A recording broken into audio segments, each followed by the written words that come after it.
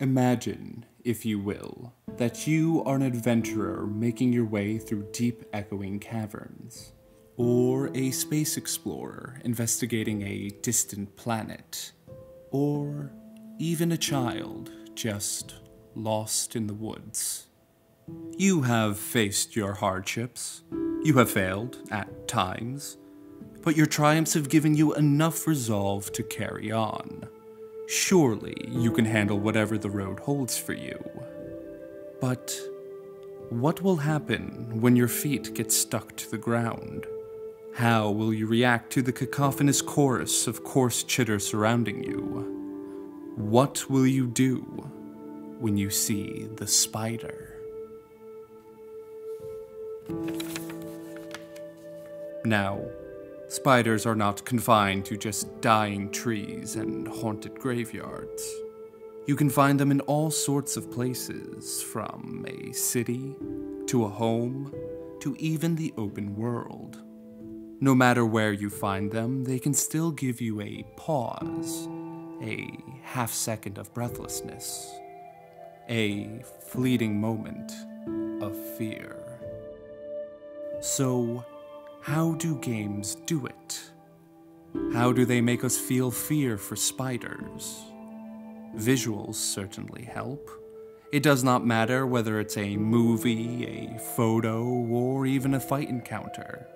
Seeing a spider can be very jarring.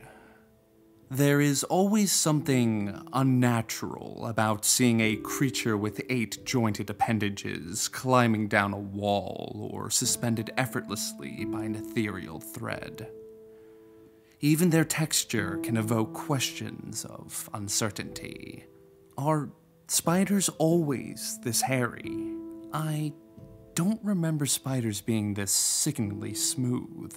And why does this one have rough chitin? And the eyes. Oh, we have such a fascination with their eyes, don't we? There can be many and alien, almost impossible to glean any motive besides threat.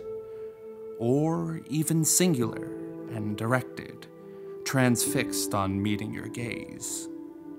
Video games know what traits to focus on to maximize the uncomfortable presence of a spider. Visuals are not the only thing to consider when we measure the fear for spiders. You can almost describe the visuals as a passive fear, something that can just happen. But what about an active fear? How can arachnids evoke fear through gameplay? Well, that is somewhat of a difficult question to answer, as each game handles them differently. Though we can look at them in broad strokes. Interacting with spiders in games, especially in combat, forces you to change your playstyle. Normally, when you face a foe in a game, they are often within your field of view. But when your enemy can move across walls or hang from the ceiling, you're going to have to change your perspective.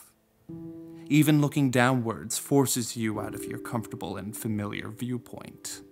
Spiders are usually not your rank and file enemy you come across on your adventures.